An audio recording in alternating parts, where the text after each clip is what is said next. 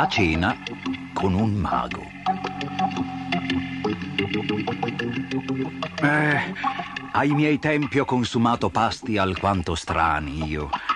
Potrei raccontarvi di un pranzo fatto in una miniera o della cena avuta con un milionario, ma credo che il racconto che vi piacerà di più sia quello della cena avuta una volta con un mago.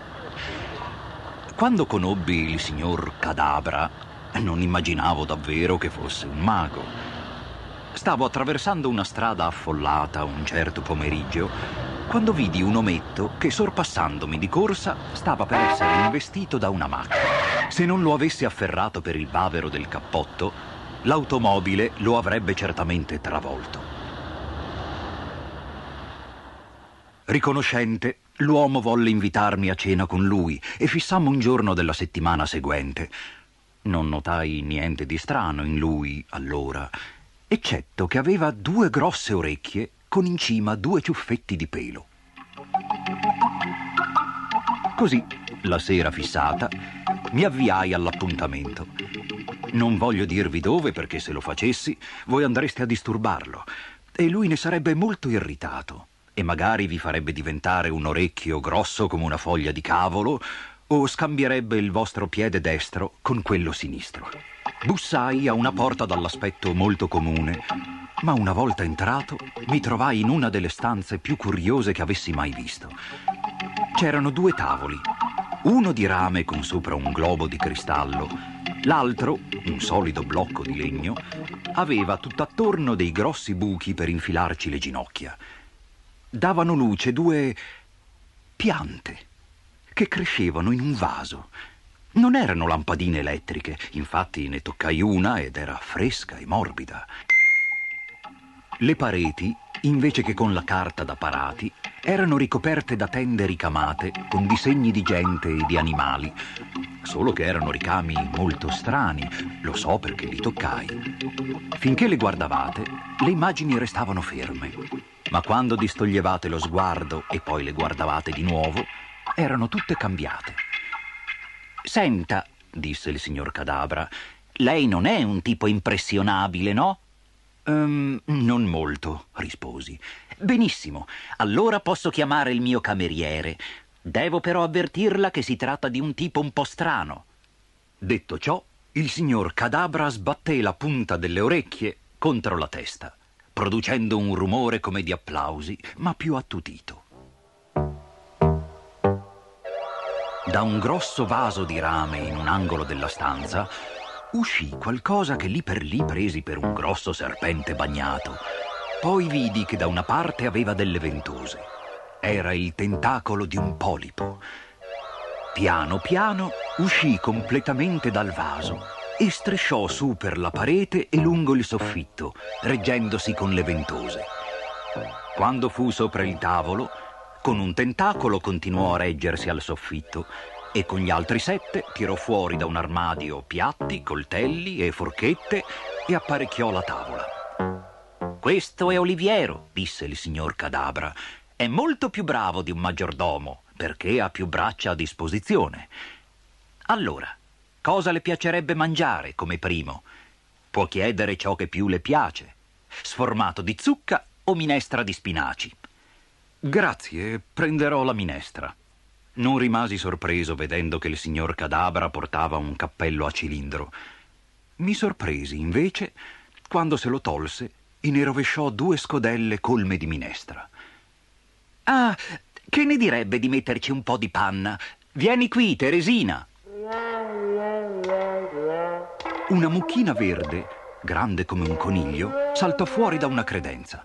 Salì sul tavolo e rimase ferma davanti al signor Cadabra che munse il suo latte dentro una lattiera d'argento procurata da Oliviero. La crema di latte era eccellente e la minestra mi piacque moltissimo. Cosa desidera per secondo? chiese ancora il signor Cadabra. Oh, mi rimetto a lei. Bene, allora mangeremo del pesce alla griglia, disse lui. E poi tacchino. Oliviero, ti prego, pesca un pesce e tu, Pompeo, preparati ad arrostirlo.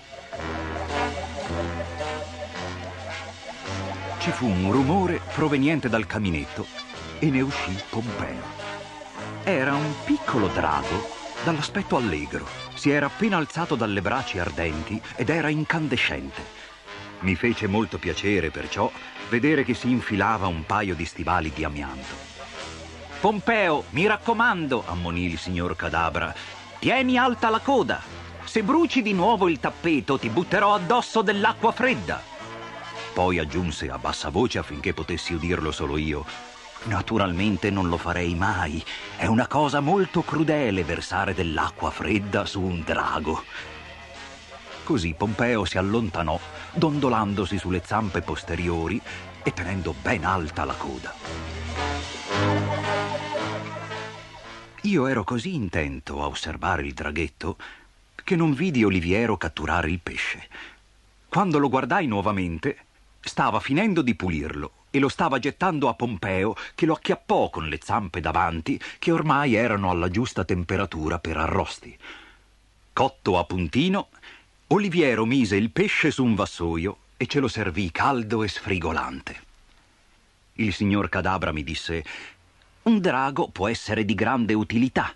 Per esempio, molto meglio di un cane per tenere a bada i ladri. Non le sembra? Beh, sa, signor Cadabra, mi vergogno un po', ma Pompeo è il primo drago con cui faccio conoscenza. Certo che sciocco. Del resto lei ha già indovinato che io sono un mago, no? Intanto a Pompeo era venuto freddo e battendo i denti se ne ritornò tutto contento nel fuoco. Poi Oliviero servì un grosso tacchino arrosto su un gran vassoio di porcellana. A questo punto il signor Cadabra tirò fuori di tasca un piffero e ci soffiò dentro. Subito saltarono fuori sei belle salsicce. Oliviero mandò giù della verdura, ma non so da dove la tirasse fuori. Il condimento invece uscì dal cappello del signor Cadabra. Mentre finiamo di mangiare, preparerò un po' di frutta, disse il mago. Si alzò e con la sua bacchetta magica batté leggermente sugli angoli del tavolo. Immediatamente il legno si gonfiò ai quattro angoli e si produssero delle fenditure dalle quali spuntarono dei piccoli virgulti che cominciarono a crescere. Per quando avevamo finito di mangiare il tacchino, i virgulti erano diventati degli alberelli, carichi di frutta matura e succosa. Un albero aveva dei bei frutti dorati che il mio ospite chiamò manghi. Il luogo adatto per mangiare i manghi è la vasca da bagno, mi disse. Sono frutti così sporchevoli. Vede, hanno la buccia dura e un interno molto morbido, perciò quando si rompe la buccia tutto il succo schizza fuori. Ma adesso io farò un piccolo incantesimo affinché lei non si sporchi. Il mango era delizioso e più tardi il signor Cadabra me ne regalò cinque da portare a casa, solo che mi toccò mangiarli veramente nella vasca, perché lì non c'erano incantesimi. Mentre bevevamo il caffè, versato dal cappello naturalmente, parlammo a lungo di magia, di calcio e di cani. Poi mi disposi a tornare a casa. Con due delle sue braccia Oliviero mi portò il cappotto e mi aiutò a indossarlo. Ora la porterò a casa, disse il signor Cadabra, ma quando lei vorrà potremo andare in India o in Cina o in qualsiasi altro bel posto a passare il pomeriggio. Me lo faccia sapere quando ha un po' di tempo libero.